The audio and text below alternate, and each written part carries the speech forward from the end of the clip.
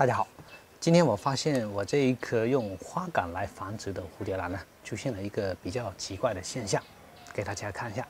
大家看，这个新芽的位置下面这部分又长出了一个小花苞出来。原来先长的是这边这条叶芽，后来这两天突然发现它长了一个小花苞出来。那么像这种小花苞它是怎么长出来的？我也不太理解。本身是营养生长，怎么会转为生殖生长？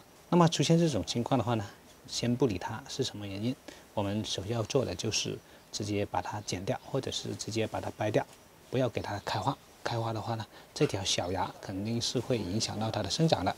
那么为了避免这种情况再次发生，接下来呢，我会给它使用一些促生长型的。肥料，比如说像这种兰科植物型营养液，因为这种营养液呢，它可以在蝴蝶兰生长期使用，让它快速的生长，不容易花芽分化，不容易开花。这样的话就可以让这些新芽安安心心的生长，不给它再长花芽出来。